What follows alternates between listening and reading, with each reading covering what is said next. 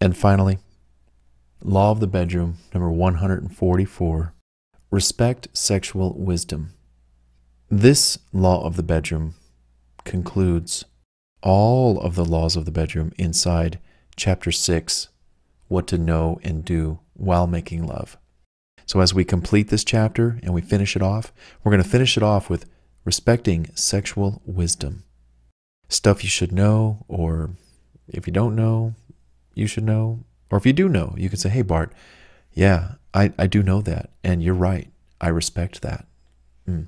So, to start this off, respecting sexual wisdom, loving your gal isn't always sexual. And I'm sure you know this. It goes without saying. Sex isn't everything in a relationship. A couple cannot live by sex alone.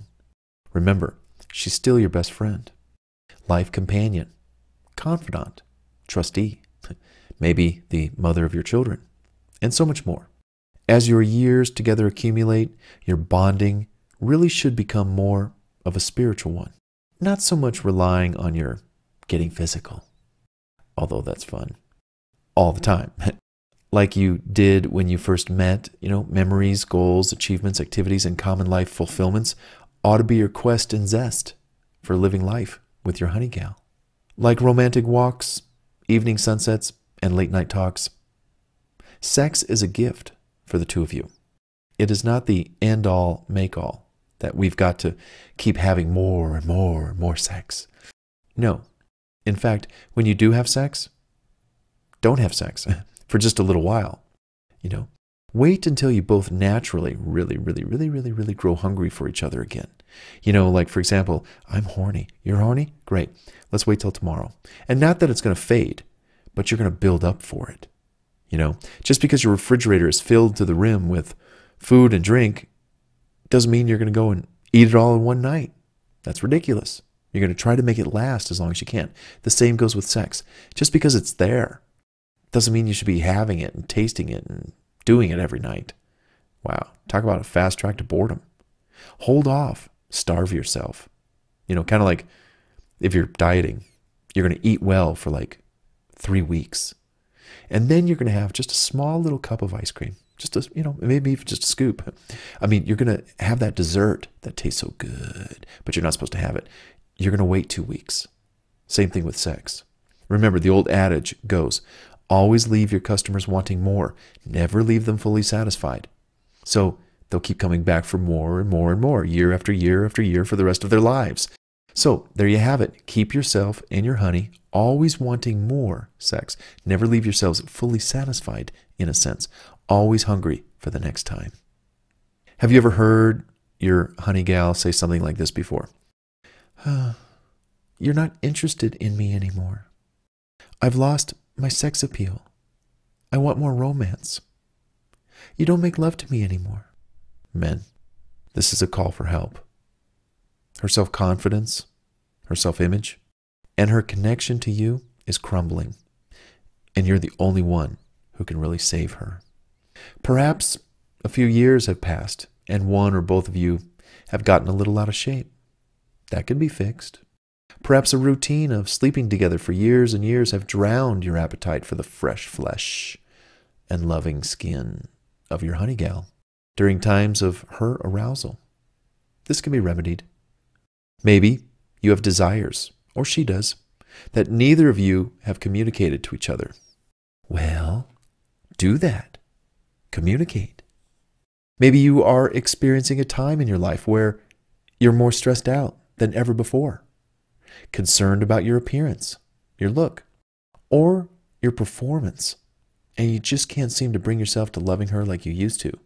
Again, this can all be remedied with an action plan and execution. No matter what the cause is here, what you must do in this very desperate situation is to act now and act fast. Do not let your gal sleep another night alone in her heart, wondering, Does he still love me? Will we ever get back to the love we had for each other when we first met? Why is he not attracted to me anymore? I'm so alone in my heart. like never before. I'm married, I'm dating, I'm engaged to the man of my dreams, yet I feel so alone, even when I sleep next to him. Who can help me? I know of no one. Why doesn't he talk to me about my feelings? Sir, you can help her. Here's what to do.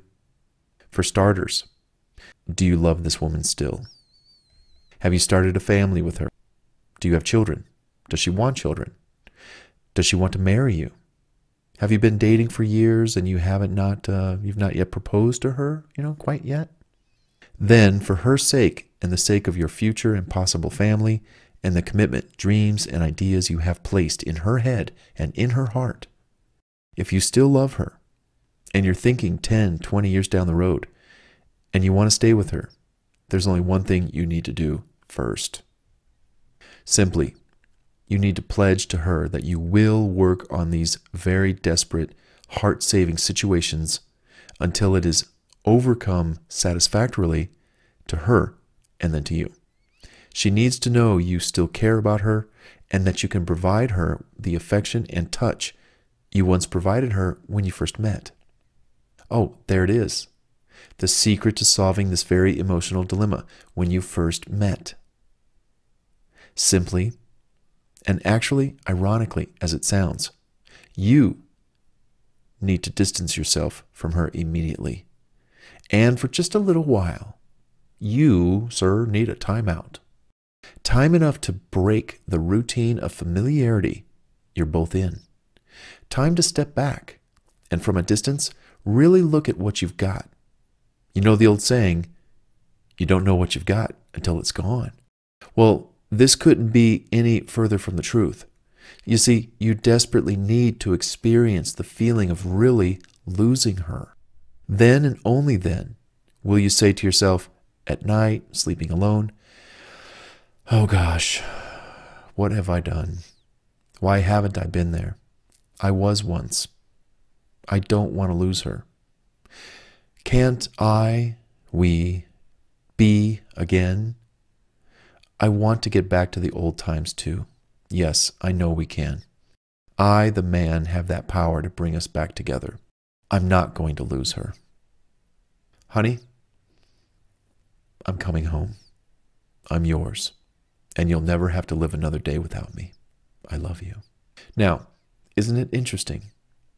Like working a job 365 days a year.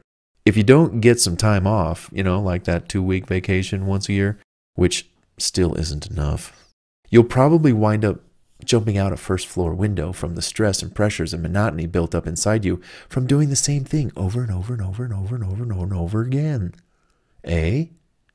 No one can really stick to something day in, day out, day in, day out for years on end without taking some kind of a break. Sure, you could go on a trip together, but truthfully, you both need to get away from each other so you can miss each other. People need time and space to reflect and really view what they've got in a relationship. You've heard the old saying, absence makes the heart grow fonder. Well, it's true. How many times have you longed to see family that you haven't seen in years? But when you stay too long, well, you want out. Look out. Well, the same thing may be true, and you know, somewhat true with your honey gal. Now, I know you'll see and find her attractive all over again if you'll position yourself away from her for a little while, and to the point where you really do start missing her, and a lot. What if you both took time off to miss each other? only to find, gosh, honey, I've been apart from you and I'm really missing you. You're all that I can see. You really mean the world to me. I can't stand losing you for another minute. Please, will you take me back? and she will. Hopefully. what do you want to do, honey? Where do you want to go? I'll take you anywhere because I really love you. I just want to be with you. I'm never going to let you go. Because in my heart, I know you belong to me and I belong to you. Also, we need to develop a relationship before sex. No relationship, no sex. The most meaningful sex comes from within relationships, not before. Remember, You can't hurry love either. So take your time. You know? The secret to a long lasting and fulfilling relationship is understanding the other person in the relationship and helping them to understand you, your emotions, your desires, your quirks, idiosyncrasies, your strengths, your weaknesses, your faults, and your perks. Well, that's just her way, and I love her for it. Yeah. God, she really annoys me when she does that, but I kind of love it. Oh, he can just get on my nerves when he does that, but that's what I like about him. Mm, he's mine. You know, while physical and sexual love can weaken as you get older, the friendships that we create between the one we love, they grow stronger and stronger, which is probably why it's very important to bond with someone that you can truly be best friends with. Because someone that you truly care about and you're going to share your life with forever, yeah, you kind of got to be best friends. And then if you can be making love to your best friend, you know, forever and ever, and and then creating all those memories, you know, when you say to your gal, or well, pretty much, yeah, you know, honey, looking back on all the years we've been together, we have made so much love together. I mean, can you imagine how many times we've made love? It's got to be thousands of times. And we're still together. And I think all those times we spent making love together, it's why we are together today and we'll be together forever. Mm. I love you.